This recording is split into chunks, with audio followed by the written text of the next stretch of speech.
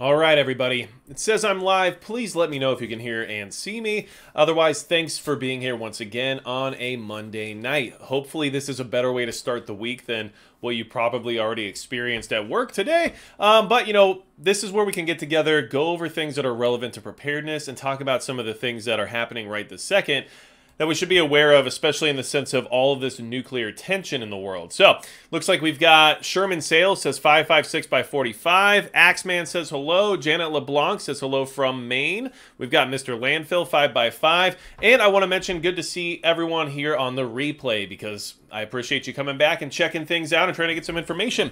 So, good evening, Dave Sickles. Good to see you as well. Uh, now, we have quite a bit to talk about, but the goal of tonight's chat is to talk about these nuclear drills that are happening right now, and of course, how we shouldn't be concerned about them because there's never a reason to be concerned about them, right? and then we also need to talk about some of the civilian targets that are becoming more and more apparently targets as time goes on with this conflict over in Eastern Europe because there's a lot of revelations coming out of that theater that can kind of show us what to expect in the future if we ever find ourselves in a similar situation or if there ever was any foreign aggression towards us here at on the mainland of the USA, uh, how they might approach that aggression, right? Because there's a lot of different things happening uh, regarding nuclear power plants, right? And nuclear uh, tension in general, because we all know that Russia at any point in time could literally flip the switch. So, Let's get things going. Um, House of Lamar says Supreme Court just accepted a case regarding the ATF. There's a lot of activity in that realm as well. Unfortunately, at, at, least in my opinion anyway, a lot of these court cases just seem to take a very long time. So usually time is not on our side, but in the end, it usually works itself out because, well, the Constitution is just that, the Constitution. So, uh, but, you know, our system likes to drag its feet a little bit. Let's get started on some of the interesting things that are going on right now. So first, we're going to just start with something that's happening overseas, but then we're going to move right into domestic issues here in the USA at home to give you an idea of whether or not you could be a possible target moving forward because um, based on the information that I'm sharing tonight and based on the information that's coming out very recently here, uh, there's reason to believe that a lot of targets in our area might not be the traditional ones we've all thought about when it comes to a nuclear crisis. So we have the U.S. revealing a joint nuclear disablement drill with South Korea. Okay, now this is actually kind of a big deal because um, this is the first time that the United States has actually disclosed a joint nuclear disablement exercise between us and South Korea. So there's a lot to kind of consider there when it comes to why this is being broadcast, right? Like, why are they telegraphing this drill now when they haven't in the past? And of course, a lot of it's probably based on deterrence and North Korea's recent actions. But either way, this should kind of tell you where we're at in the sense of the state of the world and how some of these nuclear drills are happening right now. This is from April 29th, okay? The U.S. Department of Defense has revealed that highly specialized nuclear teams from the United States and South Korea conducted joint drills in March to strengthen their interoperability on the Korean Peninsula. The Defense Visual Information Distribution Service, a Pentagon media service, released the report Wednesday when President Yoon Suk Yeol held a summit with U.S. President Joe Biden in Washington. The leaders adopted the Washington Declaration to strengthen extended deterrence against North Korea's nuclear and missile threats and to establish a nuclear consultative group to discuss nuclear and strategic planning. And there's no hidden agenda here. We're literally concerned about the idea that nuclear war could happen at any minute. So everybody's ramping up their ability to respond to a nuclear incident. And it's kind of interesting because back in the Cold War era and back in prior nuclear tense environments, right, there was a lot more of a deterrence measure being taken, right? There's a lot more of a, let's just say, uh, defense through strength or defense through a good offense, right? Um, but now we're just kind of seeing everyone starting to practice for the aftermath of something rather than doing their best to prevent it from happening in the first place, which should kind of tell you where we're at and how our current. Let, I'll just use the word leadership lightly, but that's what we're using for that word, um, and how they're approaching these scenarios. It very much seems like we're just waiting for it to happen rather than stopping it from happening, right? But who knows? Either way, I'm not, you know, an expert in those departments. All I know is that I read this information, digest it, and then I interpret it in the way that makes sense to me. So, either way, okay. The NDTs and NCTs were able to plan and execute missions together and work hand in hand in areas that allow us to communicate effectively between each other and our soldiers downrange. Major Ariel A. Alcade, the deputy team leader for NDT 3, was quoted as saying, This is a giant leap from the previous partnership events. So, at least the bare minimum, this would give me an indicator that the nuclear threat coming from North Korea is becoming more and more of a reality and becoming more of a probability rather than a possibility, right? They have shown their strength over the last couple of years, doing an unprecedented amount of ICBM tests as well as other missile tests, and have shown that they don't really care about their missiles entering sovereign territory like Japan, right? So there's a lot of things moving in that direction over there, and these drills are happening now in South Korea to get them ready for that possible event. So that should just tell you where we're at in the sense of aggression in the Asian theater, let's just call it, all right?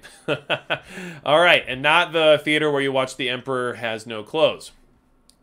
Where's no I don't remember. I I'm not a theater major, but as you guys can probably tell by some of the acting I've done in my videos where I try to portray a certain type of character and maybe it falls flat on its face. But here's what's happening domestically, and this is what we really need to be aware of. And this is why I said earlier in the chat that I believe it was um, Christian would be, uh, you know, very happy about the way that this is going to go because the very first drill that's going on right now that we're going to discuss here in America is literally the FBI saying, "Don't be alarmed." and uh, I believe Christian's statement was, uh, you know, don't forget the feds will tell you there's nothing to worry about, right? So. FBI, don't be alarmed by upcoming nuclear training event incident exercise in Houston, okay? So this is happening today through May 5th. So maybe you're in the Houston area, maybe you've seen increased activity. If that's the case, let us know in the chat or in the comments just to kind of give everybody an idea as what it looks like because at the bare minimum, you might at least be having somewhat of a front row seat to an example of what to expect if there was a nuclear incident, right? So you could kind of see what the response would look like, what kind of activity there would be, both in the air and on the ground. Um, and it just kind of gives you a little bit more insight than somebody would have otherwise. So I find that to be relatively valuable. But the FBI Houston says they'll be conducting a large scale training exercise in southeast Houston and Harris County Monday, May 1st through Friday, May 5th. All right? Of course, they say don't be alarmed. It's just an exercise. There's no reason to be alarmed, but Although, you know, we just announced the first ever joint cooperative nuclear exercise with South Korea um, for the first time we disclosed it anyway. Uh, so now uh, we're also doing this in Houston, but there's nothing to worry about uh, because nothing is really imperative or going to happen. We just do these things because they're routine. And we've heard a lot of that over the last couple of years. Well, these things are routine. These things happen all the time, right? But if you do some research and you study up on kind of the the usual routines that are done in the past, you'll see that timelines have been moved up or changed around, and there's some differences compared to how they'd usually been done before. So these are just things to keep in mind moving forward. But this is happening in Houston, Texas right now, okay?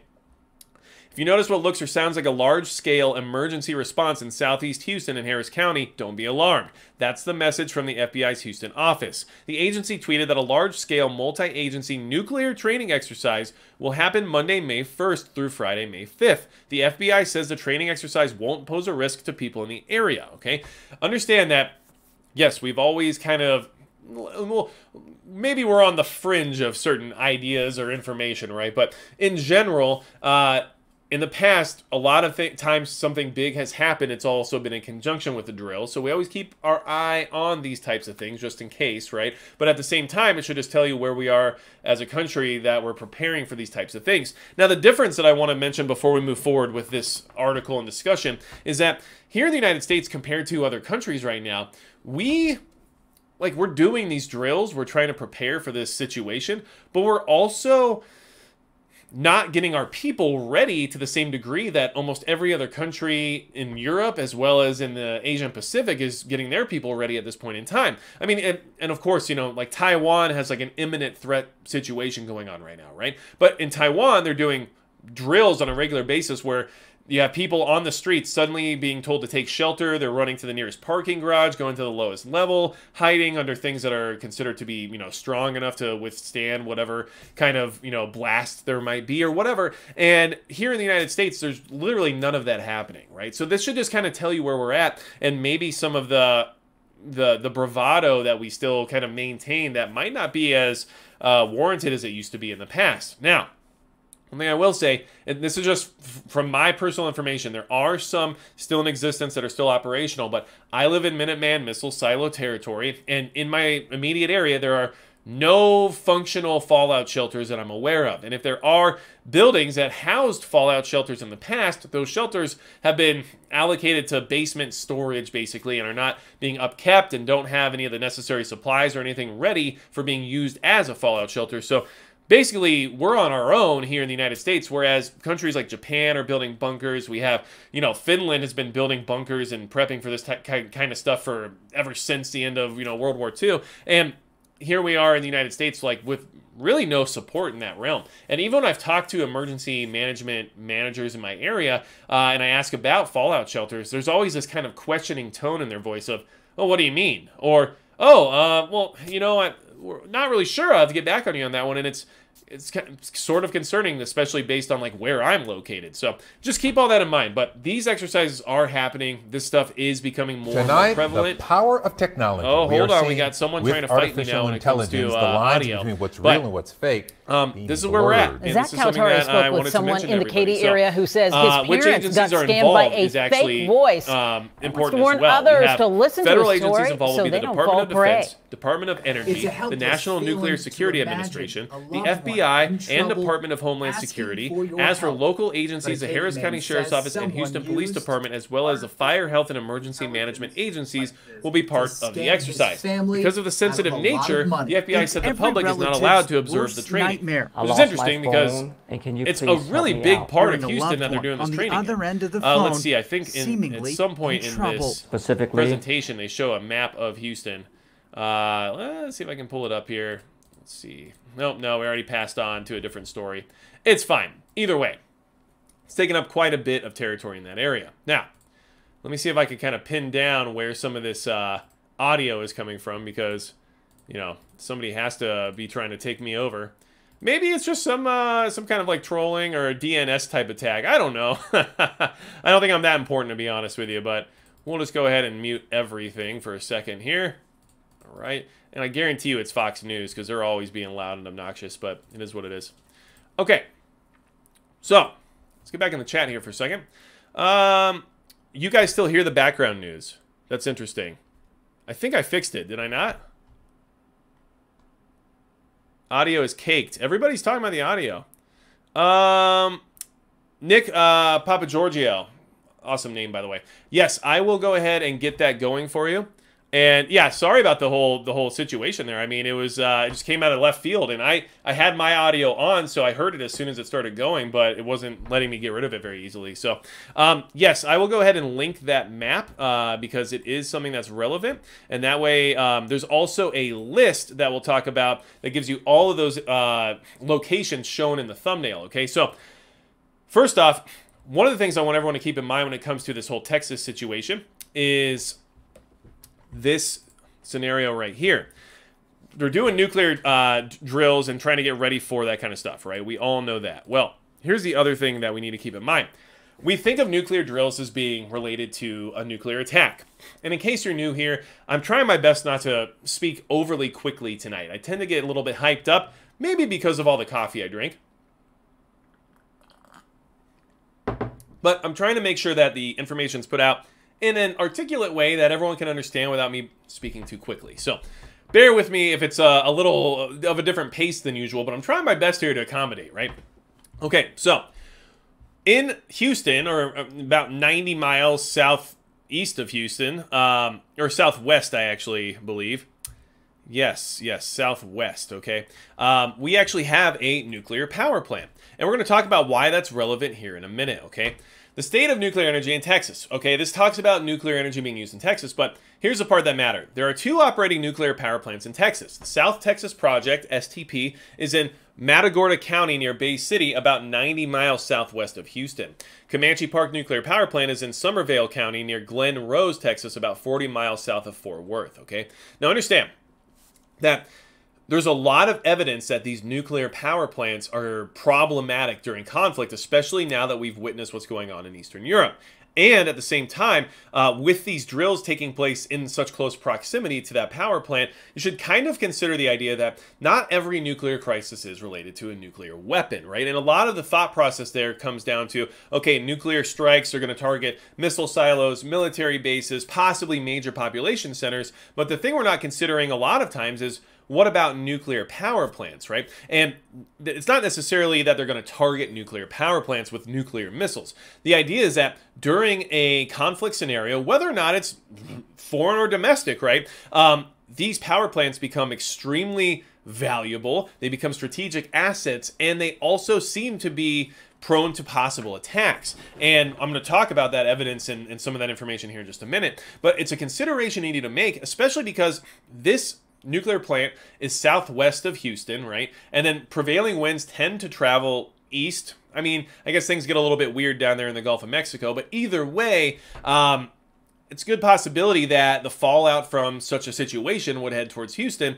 And either way, now you have a nuclear incident that you have to deal with from an emergency management standpoint, right? So it's not just about a nuclear weapon, and this is why things get really interesting. And just to kind of give everybody a visual here, the map showing where Bay City is, right? So we have Houston right here, okay, obviously. And I believe a lot of the training exercises are kind of like here, let me kind of see if I can show you that, but they're kind of in this area right here. I don't think you can see my cursor, unfortunately. It's really thin or hard to see. But then Bay City, uh, where did you go, Bay City? I know I looked at you here earlier. Is down here, okay? So this is Bay City, and then we have Houston up here, right? And then the exercises are kind of in this region over here where you see like Alvin, basically, okay?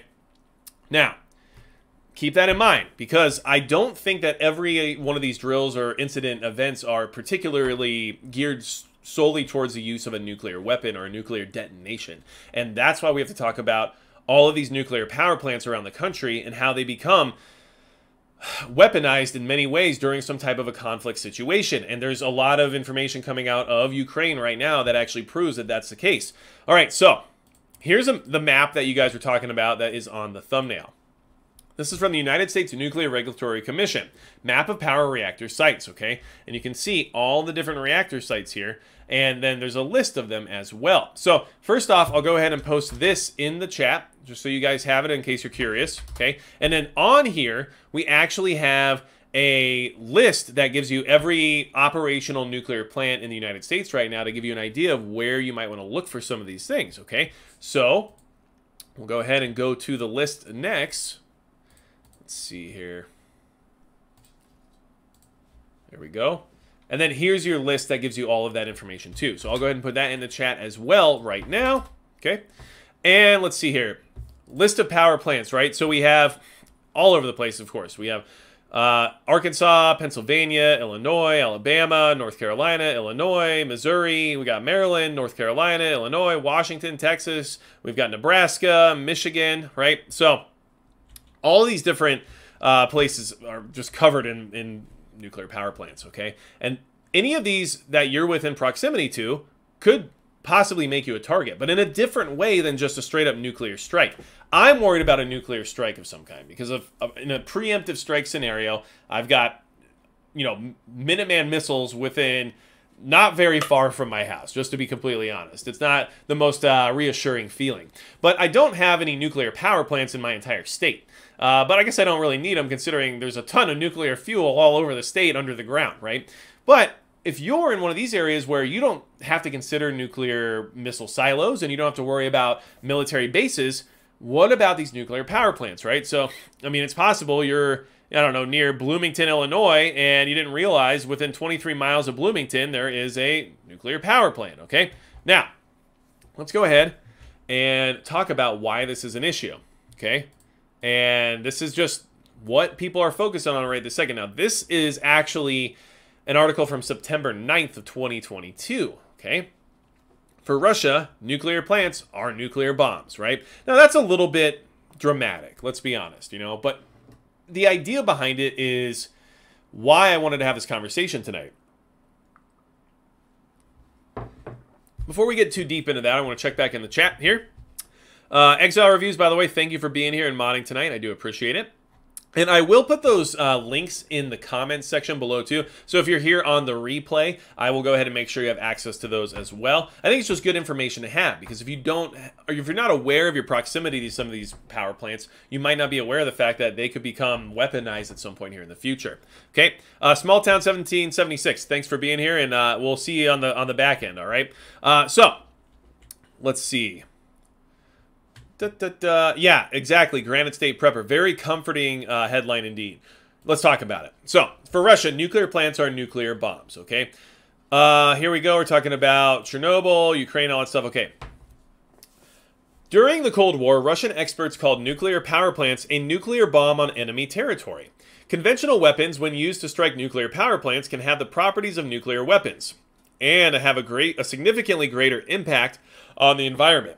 This led to the possibility of considering nuclear power plants and peaceful nuclear facilities as weapons of mass destruction, and to consider a strike on them as a passive form of employing WMDs. The question of nuclear power plant vulnerability in an attack by a hostile state has not been widely considered because it was unofficially recognized that it was impossible to protect such facilities from a missile or airstrike. That is, it was recognized that it was irrational to conduct military engagements on a territory where there is a nuclear power plant. The benefits from the destruction of the nuclear facility as a strategic energy and economic facility were offset by direct and indirect collateral damage. Thus, the understanding grew that nuclear power plants are no less of a threat than nuclear weapons, and according to some indicators, are actually peaceful weapons of mutual nuclear deterrence. Yet, Russia's invasion of Ukraine and the seizure of a nuclear power plant destroys this concept. The military is used both to capture and to hold the nuclear power plant. Uh, da, da, da, it, it, that was a terrible sentence. Ukraine's civil military facilities have become important military strategic locations for Russia. It has not needed to threaten the use of nuclear weapons, and since there, there is an order of magnitude more radiation inside a reactor than in a bomb, radiation pollution due to the explosion of a nuclear reactor would be far larger. Okay? Now, we know what's been going on with the Zaporizhia nuclear power plant, right? We know that this whole thing is becoming more and more problematic. And this is why I wanted to have this conversation because I don't think a lot of people here in the United States have considered that the nuclear power plants are foreseeably a target. Not just the fact that they're somewhat dangerous if they were to have a meltdown or have some kind of a fatal accident, right? Because these things do just happen. They're man made machines in many ways, and they can fail. So, yes, of course, being in proximity of a nuclear plant has its risks. But I don't know if everyone's kind of put the two and two together of how much these could be used towards an enemy's goals in the sense of being weaponized, right? Dangerous targets, civilian nuclear infrastructure, and the war in Ukraine.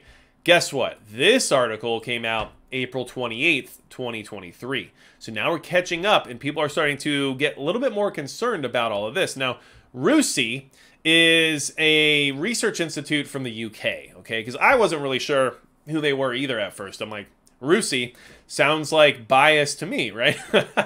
but I mean, it, of course, it still has bias, but this is from the UK, not from the country you might assume based on the even the logo and everything else related to that. But okay. The war in Ukraine has underlined the need to enhance the safety and security of nuclear power plants in war zones, okay? Russia's full-scale invasion of Ukraine, everyone has to rehash that every single article, I swear. Over the past year, Russia's military activity in Ukraine has resulted in serious threats to safety and security of Ukraine's nuclear infrastructure, and there's good reason to believe that Russia has violated the protections granted to NPPs or nuclear power plants in international humanitarian law. Given the significant projected global increase in the number of nuclear reactors over the coming decades, it is likely that this will not be the last time NPPs are in the midst of a military conflict. This report seeks to assess the risks uh, the ongoing war poses to NPPs in Ukraine and to draw preliminary conclusions from these events to improve the safety and security of NPPs in conflict. Okay. There's a lot of focus being put on nuclear power plants right now, especially like the previous article told us, these nuclear power plants have far more radioactive fuel than a nuclear warhead tends to have, which means that the environmental implications that one can produce if it were to have a catastrophic failure and enter the mode of meltdown uh, is worse than what a nuclear bomb might even produce. So these places are being weaponized and they're being used as shields as well as offensive tools. And to assume they're not being targeted is at this point naive, especially knowing what we know now about Zaporizhia and everything else that was going on with Chernobyl at the beginning of the conflict. We know that these places are going to be used one way or the other, and that in the wrong hands can be turned into a seriously catastrophic scenario. This is why I wanted to bring this up to everybody, okay? The greatest threat to Ukraine's NPPs is unlikely to be from a direct strike on a reactor and an ensuing large scale radiological incident similar to the 1986 Chernobyl disaster, but rather the failure of key systems, namely water and energy supply, or human error, potentially resulting in an incident not unlike what occurred at Fukushima NPP in 2011. Okay, so the threat of a direct strike is more of a concern when it comes to the pool type spent nuclear fuel storage or the sarcophagus containing the remnants of the destroyed Unit 4 at the CHNPP, which are not designed to be as robust as the containment structures over the operating reactors. There's also a risk that Ukraine may run out of available storage for its used nuclear fuel as it cannot currently transport spent fuel safely. Finally, the possibility that Russia may manufacture a radiological incident at the ZNPP, that's the Zaporizhia, or another facility to spoil a Ukrainian offensive should not be disregarded. A Ukrainian offensive, what, like the one that's supposed to be happening right now? A counteroffensive, you might say? So, yes, there is a lot of concern that these power plants will be used as a way to deter such an offensive or be a consequence of an offensive, right?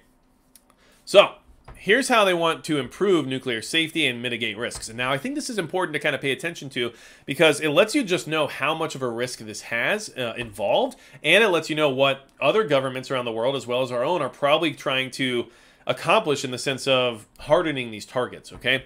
To improve nuclear safety and security in Ukraine, the international community should ensure the personal safety and welfare of staff at NPPs, ensure sufficient licensed Ukrainian staff are ready to resume operations at the ZNPP following Russian withdrawal from the facility. Good luck, I guess, right? Facilitate the safe transport of spent nuclear fuel to dry storage facilities where appropriate. And that makes sense. I mean, if they're actually running out of space for this spent fuel, it's very dangerous to transport it in that region right now, so what else are they supposed to do, right? Assess availability of highly radioactive waste storage facilities and certify additional storage if needed. Provide chemical, biological, radiological, and nuclear emergency response and other necessary equipment, training, and support to the Ukrainian military, which we're already doing, by the way, and we'll talk about that here in just a minute.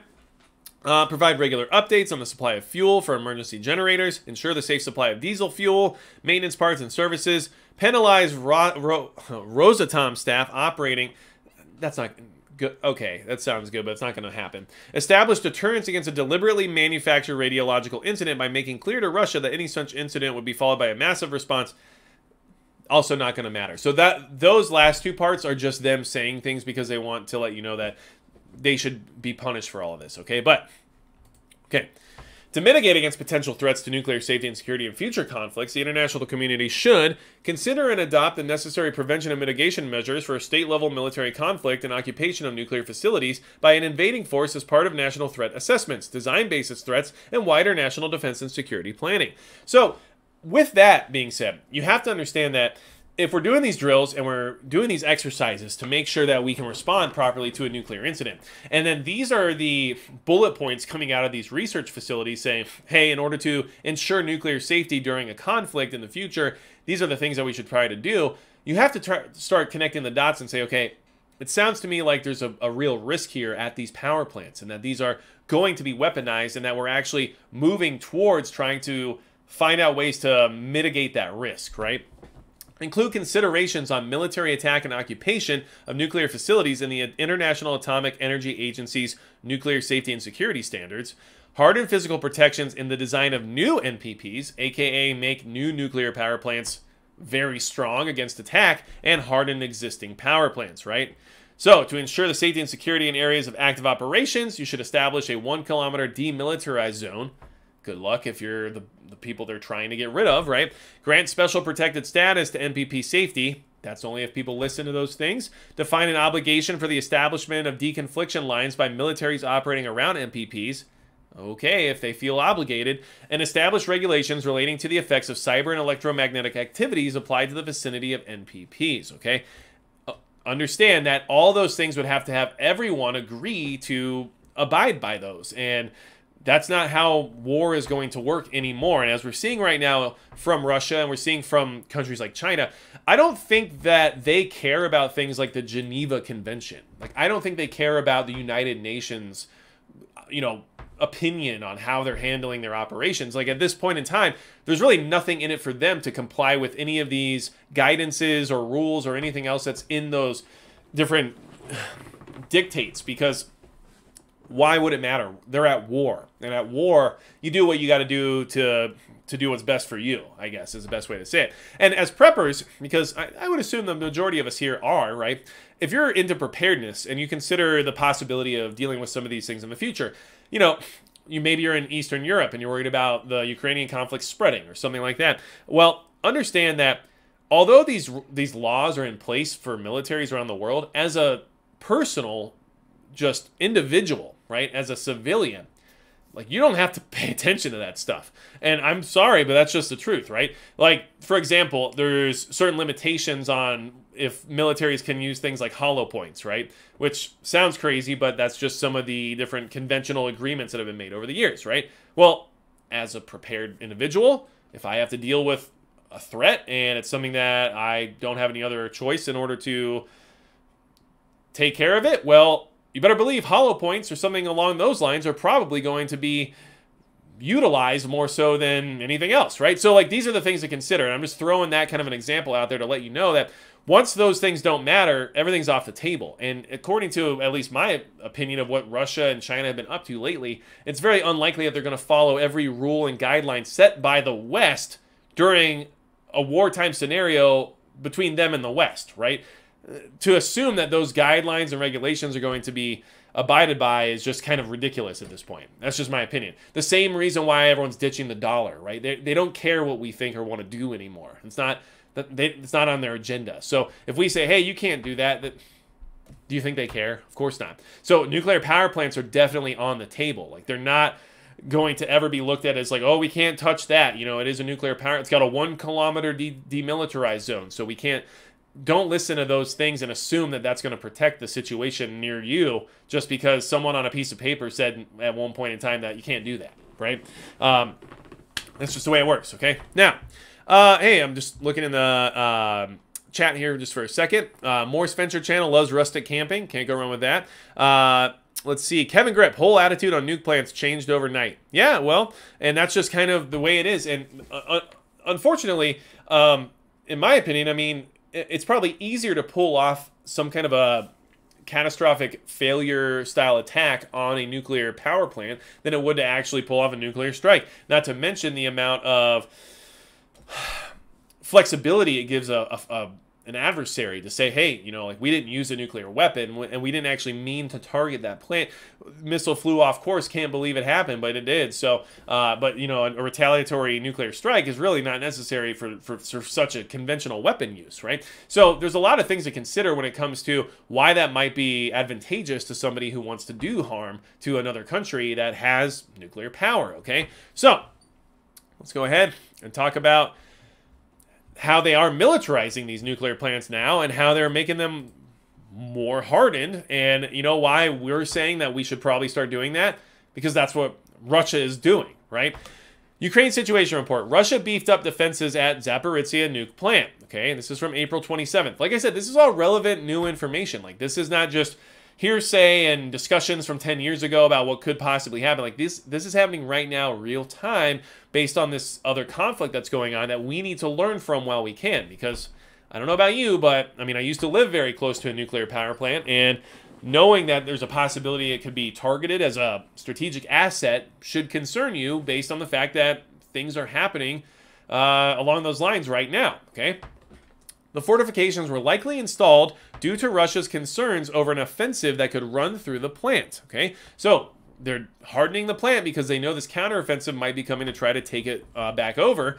And what is that going to look like? And listen, don't forget, there's always the possibility of sabotage if they are going to have to pull out, right? Because nobody wants to just leave peacefully in the middle of a conflict. So, all right, if you want it, you can have it, but it's on fire have a good time, right? So these are all things to consider as well. Um, you know, self destruct is a real thing when it comes to uh, giving up assets, right? Not to mention the fact that We also know how, you know, squatters treat people's houses when they have to leave and get evicted. They usually destroy the place on their way out because they're mad, right? And so just keep all that in mind. Ahead of the looming Ukrainian counteroffensive that could very well drive through the occupied portions of Zaporizhia Oblast, the Russians have been reinforcing their military presence at Europe's largest nuclear power plant, according to British military intelligence, okay? James Bond said so, so you know it's true. While that assessment downplays concerns about a radioactive catastrophe at the Zaporizhia nuclear power plant as a result of any fighting on the premises, combat there in March 2022 sparked global concerns that such an event could take place, okay? Now, imagery shows that by March 2023, Russian forces had established sandbag fighting positions on the roofs of several buildings at Zaporizhia nuclear power plant, the UK's Defense Intelligence Directorate said Thursday in a tweet. Russia captured the plant in March 2022, but this is the first indication of the actual reactor buildings being integrated into tactical defense planning. Russia has likely constructed these because it is increasingly concerned about the prospects of a major Ukrainian offensive. All right, so you have hardened positions being put into place on top of buildings that are connected to this nuclear power plant. And that should tell you exactly what you might expect if you were to ever see something like this in your area. And look, people in this chat, yes, you're a lot of you are from the United States, but there are people here from, you know, Canada, but also from the UK and also from places like Norway and Switzerland, there's a lot of people here that are from different countries that are uh, much closer to this situation that might have more of a possibility of seeing this than even we do here in the States. But we shouldn't underestimate the possibility of this happening here either. Underestimating your enemy is the biggest mistake you can make. And I see a lot of that here in the preparedness community just because, you know, America, which I'm very America in that way, but I also have to be reasonable about the fact that underestimating my enemy is a bad idea. Now, the move highly likely increases the chances of damage to ZNPP safety systems if fighting takes place around ZNPP. However, direct catastrophic damage to the reactors is unlikely under most plausible scenarios involving infantry weapons because the structures are very heavily reinforced. Infantry weapons. They're not saying, you know, artillery, right? They're not saying missile strikes. They're just talking about infantry. But at least in my understanding, and now, you know, I have never served in the military, so I don't have any kind of military background or anything like that. But what I will say is that my understanding is that if you're in a defensive position and you begin to get overrun, a lot of times the best thing to do is call for air support, right? Or radio in, hey, we need help. And uh, usually things fall from the sky, whether or not that's drones, aircraft, or even artillery that's far away, right? So just keep all that in mind because there's a lot of ways this thing can go wrong. And although we discussed that in the Texas discussion earlier, how the FBI said nothing to be alarmed of, nothing to worry about, right? Well, even the UK Defense Ministry is saying, you know, this is unlikely, and there's no real chance or plausible scenario where a nuclear reactor gets damaged, right? Which is an incredibly bold thing to say when you're in a hot kinetic war and the nuclear power plant itself is getting sandbag fortifications built on the roof of multiple buildings that are part of the plant, and they are hardening the defenses in anticipation of a counteroffensive. And to assume that even with all that happening, the likelihood is very low. I think that's very optimistic, okay? Um, which is why we should just pay attention. All right, now, there's more going on in that region as well. I will say, first and foremost, or 38 minutes later and foremost. uh, biggest supporter of the channel is Midway USA. And I mention them in every video, and that's the the reason that we work together is because hey, you know what? Uh, they're helping me do what I got to do here to be more prepared, and I appreciate what they do to allow me to get more of this information out there and to try out more gear and stuff like that. So I appreciate them very much as a company for taking care of me and for being pro Second Amendment and doing what they can to kind of keep that whole thing going because the more companies we have that are involved with that, the better, because things are getting really tight in that department, unfortunately, okay? Now, let's talk about why what else the U.S. is doing in that region, okay? Oh my gosh. Now, of course, I uh, uh, already lost my read this article privileges from the Japan Times, but we'll be okay. We're going to get through it together because we don't need the whole article, I guess. All right. U.S. wires Ukraine with radiation sensors to detect nuclear blasts. Okay, now this just kind of shows you how things are developing. But a big thing that's being broadcast here or telegraphed is all right, we're wiring Ukraine with these nuclear or these radiation sensors because we're concerned about Russia using a tactical nuclear weapon at some point in the future here, right? There's a lot of talk about that right now. Tactical nuclear weapon, tactical nuclear weapon. Because it's not, you know, a strategic nuclear weapon, so it's not, you know, the big one, but it's also, you know, not going to take out an entire city, but it's still radioactive. So there's a lot of discussion there, but not as much about, well, what if this nuclear plant goes up, right? So I think there's a lot of dots to be connected in this conversation that the media doesn't seem to want to connect for you. But once you start reading through all of it and kind of considering all the different factors in your head, you can see how all of this relates to the possibility of these power plants being used as weapons. I mean, I don't know what else to say about it. And you saw the map earlier. Like I said, I'll share it in the comments below in case you missed it in the live chat. But make sure if you're close to one that you have good CBRN plans because you know, it doesn't have to be a nuclear bomb. And people say, oh, if nukes go off, why do you want to be alive anyway? Hopefully I get vaporized right in the beginning, right? Well, you're not going to get vaporized if a nuclear power plant melts down. That's just not how it works. But you might die two weeks later in a horrible fashion if you didn't take any precautions at all, right? So this is why I'm trying to bring this up because these plants are being targeted now in this conflict, which means that if there's ever anything like that happening here, they're going to be targeted. And there's reason to believe that more stuff is happening here, which we'll talk about here in a second. So, the United States is wiring Ukraine with sensors that can detect bursts of radiation from a nuclear weapon or a dirty bomb and can confirm the identity of the attacker. In part, the goal is to make sure that if Russia detonates a radioactive weapon on Ukrainian soil, its atomic signature and Moscow's culpability would be verified. Ever since Russia invaded Ukraine, da, da, da. see, they always go back to that. Like it's always like here's a whole paragraph about last year. We know, we know now. you don't have to remind us every time. Um, but basically, they're wiring Ukraine for the ability to sense these nuclear events. Okay, so in my opinion, that just shows how much closer we are to that type of, of an event. Um, and unfortunately, we, we live in a very multifaceted world when it comes to the generation of warfare we're currently in. Right. So understand that I will never downplay the idea that a rogue entity could easily do something at this point in time, which would then escalate this war into a very dangerous territory. And for some people, I mean, let's go back. Eh, let's let's Hollywood it a little bit, right? The Dark Knight, the Joker, basically said some people just want to see the world burn, right? And and that's true. I mean, there are people like that who would love to just see a, a reset, and I and I don't mean the Great Reset where you'll own nothing and be happy, but I mean like a full on catastrophic reset where no one has a choice in the matter right? And there are people out there who would like to see that happen. So I am concerned about those types of people interacting in a way that would be escalatory, let's just say. Okay? It can happen. Now, um, Bile Shar, Bale Shar says atom bomb baby don't come around. I do uh, I do appreciate the uh, the reference there. Now, uh, we also have some interesting things happening here stateside as well. And one thing that just came out today, which is just a reminder, okay? Another balloon was being tracked. I found this to be interesting, okay? U.S. Defense Department tracking another balloon traveling between Hawaii and Mexico. Published today, okay? The U.S. Department of Defense is tracking another high altitude balloon that crossed over Hawaii and is heading toward Mexico. The DoD and Federal Aviation Administration detected and tracked an unmanned balloon off the coast of Hawaii on April 28th, which was floating at about 36,000 feet. Now, there's some big inconsistencies here that I want you to really consider because compared to what we were told last time all this balloon fiasco stuff was happening. Now the tone has changed dramatically, and I'm very unsure as to why, but I am concerned about the capability of these balloons and what they're able to do, okay?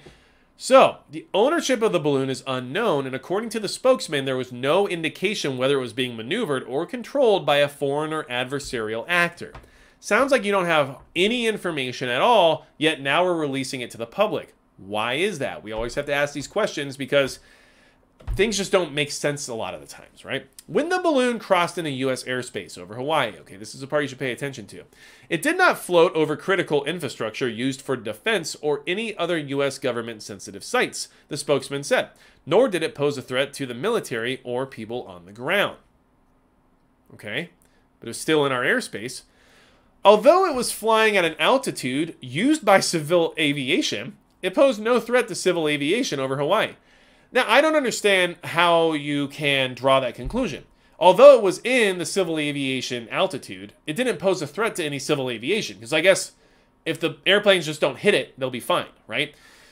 Based on these observations, the Secretary of Defense concurred with the recommendation of his military commanders that no action need to be taken against the balloon. Now, look, this whole balloon fiasco was a big deal when all that first started happening, right? It was a huge deal. Everyone was freaking out about it. I mean, and it made sense. We're shooting down things over American airspace. Like, that is insane. We, we should remember that as being a very dramatic situation, right? That's not something that happens here on a regular basis. But this balloon was over American airspace in the civilian airspace um, altitude, which before before. When we were told why they didn't shoot down the balloons it's because well they were traveling at an altitude that didn't have any inherent danger to civil air traffic. And now this one is in the civil airspace and somehow it's also not a danger. And it's directly over hawaii but that's somehow not an issue. Like there's a lot of inconsistencies here with this story that make me question what's really happening here. And the other thing i want you to keep in mind is that here we're going to go to Fox News, okay? And and look, I'm not a huge like Fox News guy per se. There's a lot of things that I have a lot of critiques for them. If you wanted to hear them one day, we can we can talk about it, okay? But here's something I want you to, to understand. Remember how crazy the balloon scenario was, okay? Remember how insane it was, okay? Watch this. Okay? All this stuff, all this stuff, all this stuff. Hold on. Oh, there there's the balloon. There's the balloon story. Okay? I mean, this came out today. It came out today. And this story is that far down on the front page. That should tell you that there's something weird here, okay? I don't know what it is. I'm not trying to say I know what it is. I'm just letting you know that I don't like I don't like it.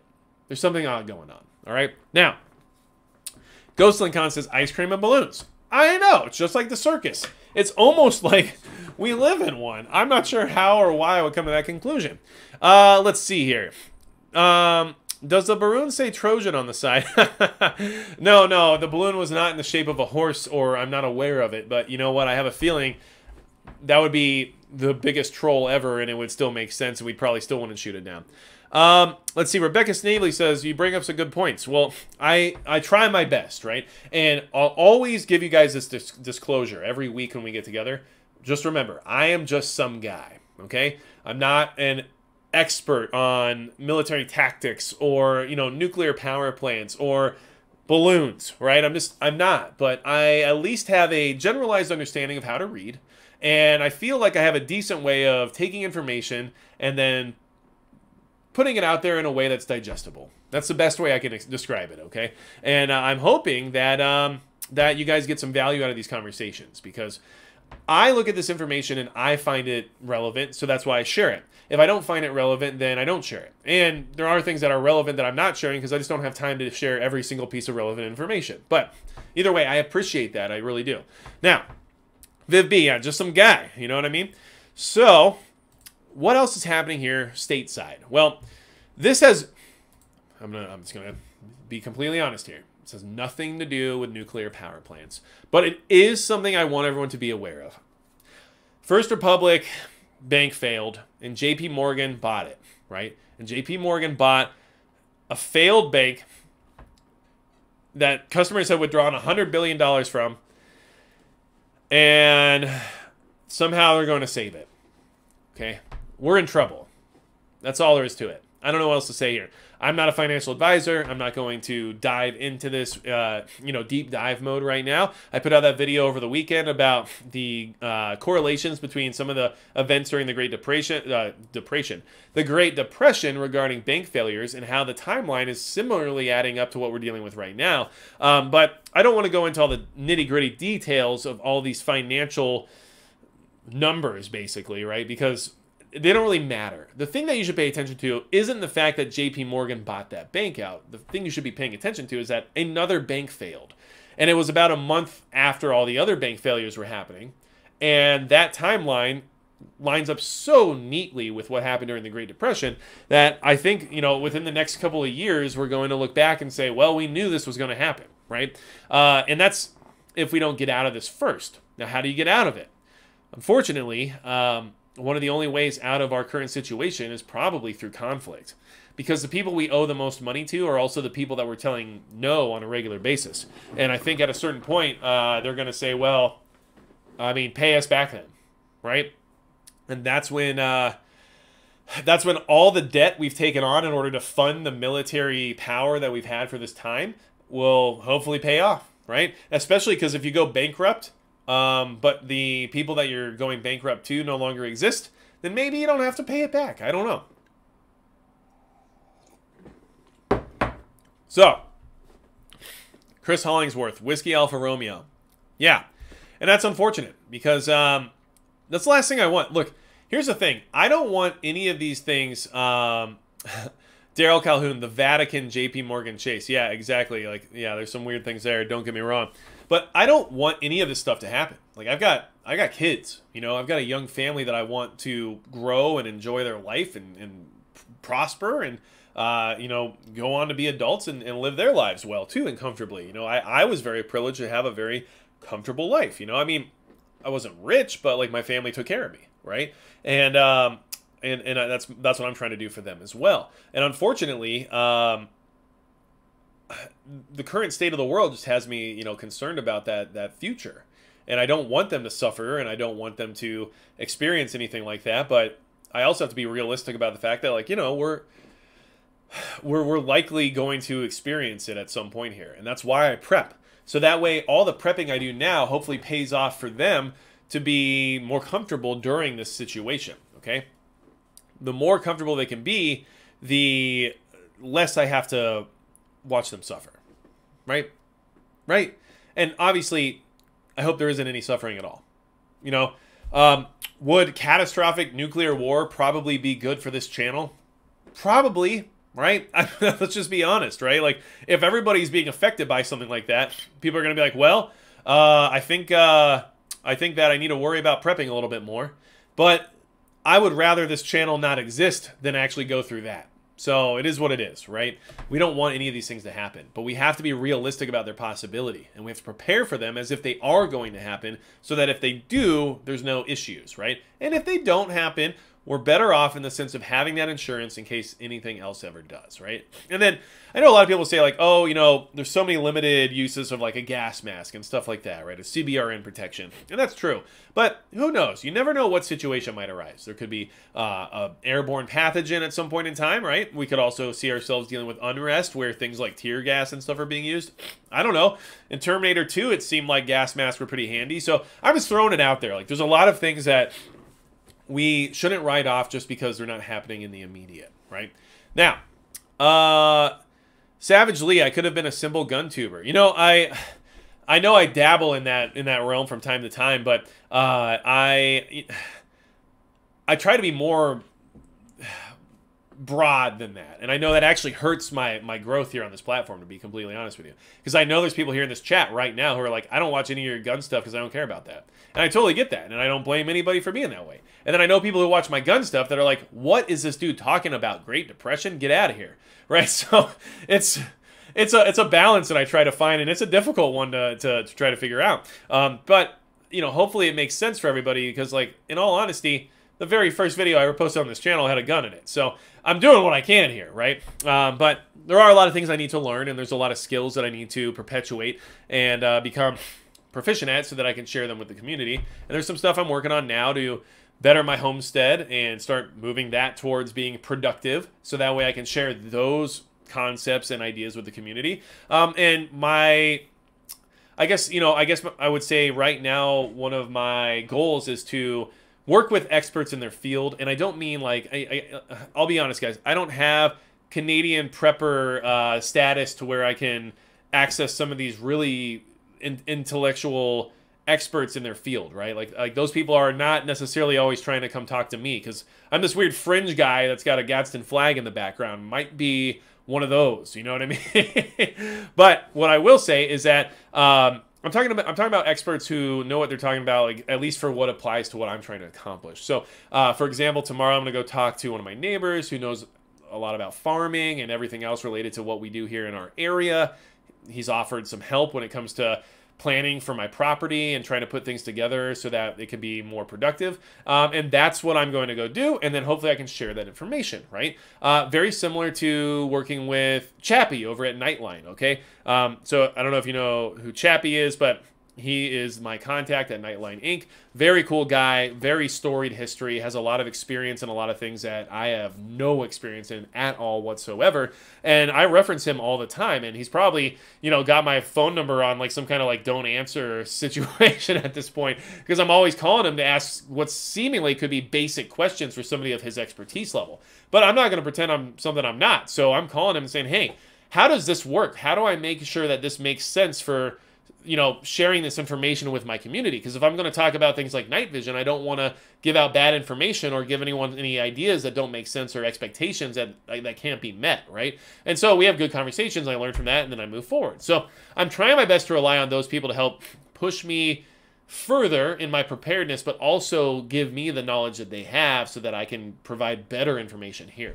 Um, so that's what I'm doing. I hope that all makes sense to everybody. You know, doing doing what I can. Um, and and, and still balancing life too because you know like I, I you know I, i'm very active with my kids. I, I take them to school. I make sure they have you know what they need. I try to be involved with their lives you know so so i have to spend that that family time as well because like i want to make sure that they have a good life. Um, so there's a balance and it's it's a tough one to get sometimes but i appreciate all of you allowing me to find that balance because having the patience with me to say okay magic um, i guess you, you you did that but maybe that's not the best idea right well I learned very quickly, hey, that's not the best idea. And now I know I'm not probably going to do that idea anymore, right? So I appreciate all of you as well. Now, let me make sure. Um, um, Kevin Grip, good night vision. Come to conclusion. Got to spend twenty five hundred or more. Yeah, probably. Um, if you guys don't know though, Nightline Inc. Super cool company. They used to basically only sell to like the professionals, let's just say. Um, and now they're selling to the civilian populace because they actually believe in the preparedness sense that we're going to need some of this equipment. And it's it's honestly a lot more about that than it is uh, trying to make a profit or sales or anything like that. They uh, have a genuine concern for what's happening to our country, so which I appreciate. And at the same time, um, they don't need the extra sales. I can tell you that right now, based on what they do in the sense of production. So Here's the thing: um, if you go to Nightline Inc., if you search them and go to their website or whatever, uh, if you do end up going through the process of buying something from them, all you got to mention is that Magic Prepper sent you, and you'll get 15% off. Which you're still going to spend a crap load of money because that equipment is not inexpensive. But 15% off something that's very expensive is a lot of money saved. So just keep that in mind because uh, maybe it helps you out if that's something you're interested in. And they do have some of those, um, like they have like basically PVS 14s that are within that 2500 range, uh, and that 15% off can really help you get into that kind of ballpark. So, um, but look, it's it's an expensive game, and uh, I am very you know thankful to Nightline for working with me to try to you know allow me to bridge into some of that because a lot of this stuff I couldn't do on my own. So I really appreciate it, and all of you really make it worth doing. So. Um, and Chris Hollingsworth, you could save 15% by switching to Geico. That's true. Although I'll say personally that that's not been my experience. And in fact, even when I have, even when I've literally told them I got a quote from like Progressive for way less money, they're like, oh, well, sorry, we can't. and I'm like, okay, well, I guess I'm just going to pay someone else, you know? Not to mention, um, uh, you know, I think they they raised my rate one time because I reported something that never actually ended up costing anything and they raised my rate anyway. Uh, it was like, hey, this incident happened, and I'm just letting you know, but I don't know if the other party involved is going to like even mention it, right? And they're like, okay, thanks for letting us know. And then the next month, they're like, yeah, well, your insurance went up fifty dollars a month because you told us that you you had something happen that day. And I'm like, yeah, but like nothing came of it, and you guys didn't spend any money, and no one got hurt or anything, and like there's like no money was spent. And they're like, yeah, but you know, you're up fifty bucks a month now. And I'm like, cool. okay, so I don't have Geico anymore. Now, I don't know why we're talking about that. Anyway, listen, make sure you prepare for these nuclear events, seriously. And if you're near one of these nuclear uh, facilities, I would plan accordingly because it is true that they can literally uh, become a, a weapon at some point in time. In all honesty, okay? So I'm just going to share this map again just so everybody can see it because I know a lot of people are asking about it. Here it is, okay? So you can see you have one in Washington, one in California, one in Arizona, a ton on the East Coast. So if you're on the East Coast, be aware, like, you're you're it's all over the place. Um, and then you know coming up from Texas, as you can see, where that one is, right near where that nuclear drill is going on right this second, and which is kind of what spawned this whole conversation to say they're doing these drills. I wonder, like, if there's any other things to consider when we're talking about these exercises. And then I'm reading all these articles about how Zaporizhia nuclear power plant in Ukraine is being weaponized and being hardened and all these things. And then I'm like, you know, it's really interesting that you don't hear a lot about that here in the United States, yet they're doing drills and preparing for these things here and in South Korea. Maybe there's something more to this than what we uh, have been told. So um, hopefully that gave you something to think about. I will go ahead and share this in the chat once again, just so everybody has it. Okay, so that is the map right there, which you can get to the list of the units from. Uh, but I will also... Why is it trying to share radioactive waste with me now? Look, I don't make these websites. You know, this is government stuff. They're they're not always the best at this stuff. But I also have the list right here for you as well. Um, Squirrel Q, uh, what's the yellow? Or just Squirrel asking what's the yellow. The yellow is the region of those power plants. So um, they have different regions that they kind of organize them all by. And so I believe yellow region, uh, I'm not sure what region it is, but it's just a number that's associated with it. So it looks like yellow was in like Michigan and stuff, right? So if I find a Michigan plant on here somewhere, here's Wisconsin, it's region three, right? So I think that's just what the yellow dictates, all right? But you got the list now, so that can give you that information. And uh, look, you know, my whole goal here was just to make everyone aware of that possibility. And the fact that Russia is currently involved in that type of a strategic plan for these nuclear plants, well, there's no reason not to assume that could happen here as well. Okay? So, thank you all so much for being here.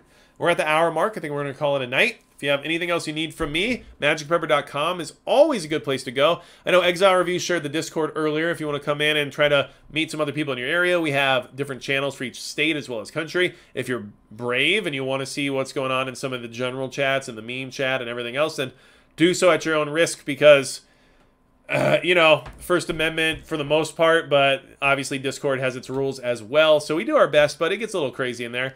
Uh, T. Fisher, well, thank you so much. I appreciate you as well. And I hope you all know, um, I like I gen genuinely appreciate you, like I really do. So, uh, and that's the reason why I do these live streams because I feel like it gives us a little bit more of like a personal conversation in the community, and it feels like we can kind of connect a little bit more than just you know produced videos. So if there's anything else you need from me, magicprepper.com, always a good place to go. And besides that, that's going to be it for Magic Prepper.